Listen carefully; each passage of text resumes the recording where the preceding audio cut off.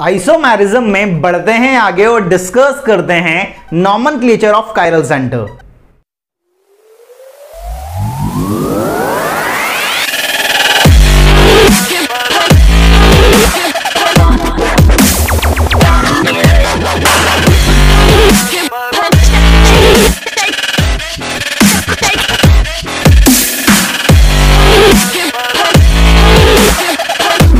hello everyone कैसे हैं आप लोग? This is chemistry Baba welcome to chemistry Adda एक ऐसा प्लेटफॉर्म जहाँ पर आप केमिस्ट्री को फील करते हैं।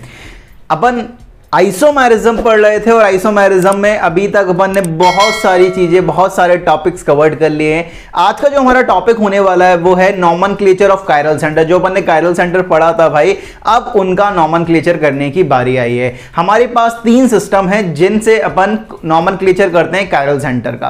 पहला स्मॉल डी और स्मॉल एल दूसरा कैपिटल डी और कैपिटल एल और थर्ड आर और एस कॉन्फिग्रेशन इनसे आप क्या करते हो, किसी भी कायरल सेंटर का नॉमन करते हो। अब बात करते हैं कि सबसे पहला जो सिस्टम है हमारे पास वो है स्मॉल डी और स्मॉल एल आपने जब अपन ने ऑप्टिकल आइसोमरिज्म की शुरुआत करी थी तो अपन ने देखा था कि अगर कोई ऑर्गेनिक कंपाउंड पीपीएल को क्लॉकवाइज डायरेक्शन में रोटेट कर रहा है तो वो डेक्स्ट्रोरेटरी होगा, जिसे आप स्मॉल डी से रिप्रेजेंट करोगे। अगर कोई ऑर्गेनिक कंपाउंड पीपीएल को एंटी क्लॉकवाइज डायरेक्शन में रोटेट कर रहा है तो वो लिवर रोटेटरी होगा, जिसे आप स्मॉल एल से नोट करोगे। मतलब एक बात तो साफ़ है स्मॉल डी और स्मॉल एल ये दोनों जो है, वो एक्सपेरिमेंटल रिज़ल्ट है। वो क्या है? एक्सपेरिमेंट रिज़ल्ट है। मतलब आप एक्सपेरिमेंट करोगे, तब आपके पास ये रिज़ल्ट आने वाले हैं कि आपका कंपाउंड डेक्स्ट्रोरेटरी होगा तो स्मॉल डी और आपका कंपाउंड होगा लिवर रोटेटरी होगा तो स्मॉल एल दूसरा पॉइंट यहाँ पे आता है कि आप इसे डायरेक्टली प्रिडिक्ट नहीं कर सकते हो। मतलब आप किसी भी कंपाउंड को देख के ये नहीं बता सकते हो कि ये पीपीएल को क्लॉकवाइज डायरेक्शन में रोटेट करेगा या एंटी क्लॉकवाइज डायरेक्शन में रोटेट करेगा। अगर आपको पता करना है तो आपको एक्सपेरिमेंट करना पड़ेगा ना।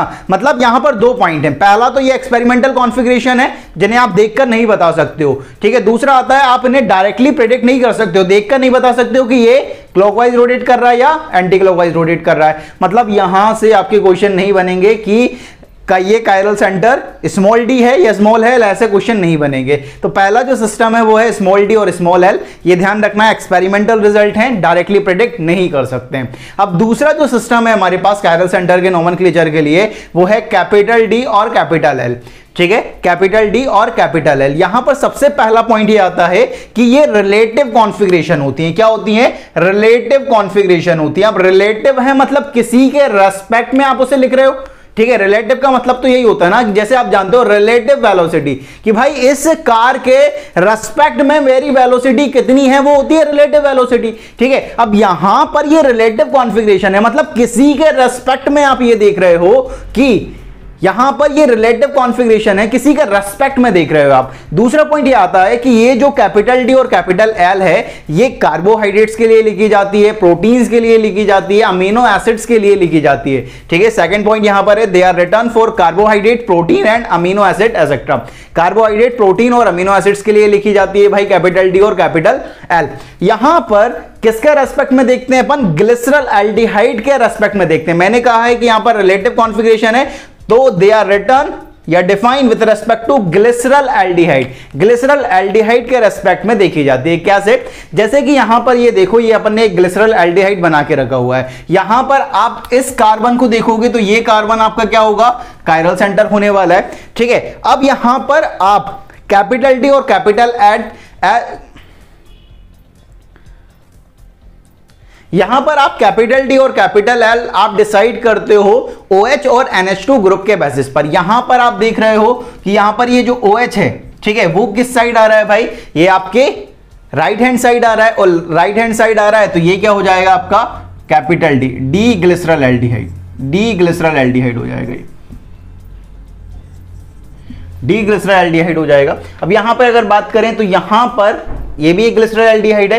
यहाँ पर ये कायरल सेंटर है और ये कायरल सेंटर है तो ये ओ OH के रेस्पेक्ट में आप देख रहे हो। यहाँ पर ओ OH किस साइड आ रहा है? कि लेफ़्ट हैंड साइड आ रहा है। लेफ़्ट हैंड साइड आ रहा है तो ये क्या हो जाएगा? एल ग्लिसरल एल्डिहाइड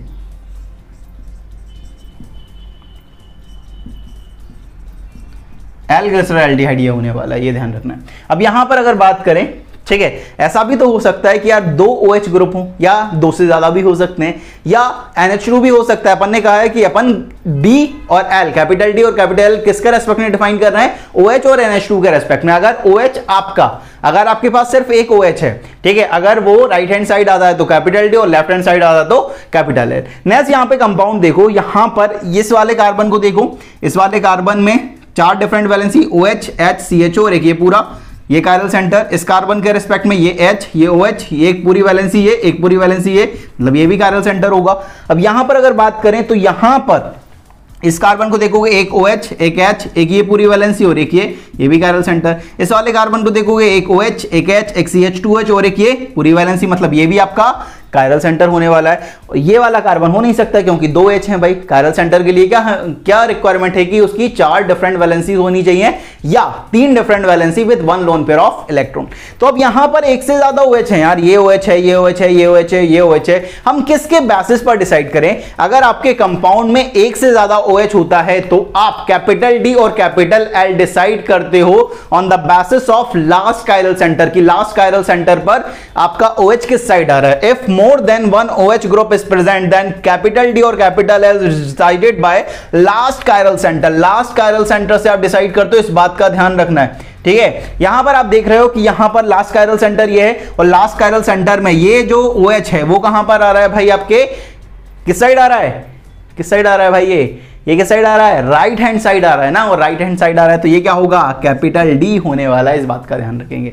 अब यहाँ पर देखो नेक्स्ट अब यहाँ पर देख रहे हो कि ये आपका कायरल सेंटर होने वाला है, और ये भी आपका कायरल सेंटर होने वाला है। अब यहाँ पर तो यार ओ OH भी है और NH2 भी है।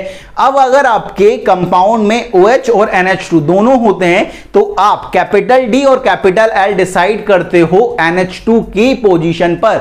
याद रखना है H and NH2 both are present then capital D और capital L is decided by NH2 NH2 के बेसिस पर डिसाइड करते हो तो यहाँ पर इस NH2 को देखोगे और ये NH2 किस साइड आ रहा है भाई आपका? किस साइड आ रहा है? लेफ़्ट हैंड साइड आ रहा है ना?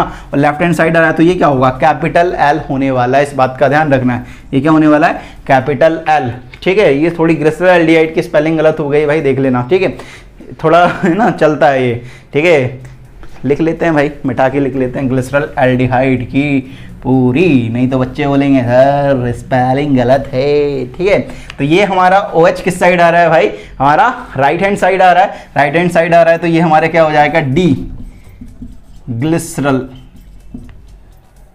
डिहाइड ये क्या होने वाला है हमारा? एल ग्लिसरल डिहाइड ठीक है? ये ध्यान रखना। है ठीक है? तो यहाँ पर कैपिटल डी और कैपिटल एल अपन इस तरह से निकाल सकते हैं, इस बात का ध्यान रखना है। तो अपन ने दो सिस्टम अभी तक पढ़ लिए। पहला स्मॉल डी और स्मॉल एल और दूसरा कैपिटल डी और कैपिटल स्मॉल डी और स्मॉल एल एक्सपेरिमेंटल रिज़ल्ट है। आप डायरेक्टली प्रिडिक्ट नहीं कर सकते हो। कैपिटल डी और कैपिटल एल जो होते हैं भाई, वो रिलेटिव होते हैं ग्लिसराइड के रेस्पेक्ट में प्रिडिक्ट किए जाते हैं, निकाले जाते हैं। दूसरा कार्बोहाइड्रेट, प्रोटीन, अमीनो एसिड्स के लिए निकाला जाता है। ओ OH और एनएच के बेसिस पे दिखाया जाता है। अगर एक से ज़्यादा ओ OH है तो लास्ट कायरल सेंटर के OH के रेस्पेक्ट में देखते हो और OH और NH2 दोनों हैं तो NH2 के बेसिस पर आप कैपिटल डी और कैपिटल एल डिसाइड करते हो, इस बात का ध्यान रखना है। तो ये आपके आज अपन ने दो सिस्टम पढ़ लिए हैं। इसके बाद एक और आता है आर और एस जिसकी अपन बात करने वाले हैं नेक्स्ट वीडियो में। तो इस वीडियो में बाबा जी की तरफ़ से इतना ही। मिलता है नेक्स्ट वीडियो में, तब तक के लिए पढ़ते रहें। जय हिंद, जय भारत।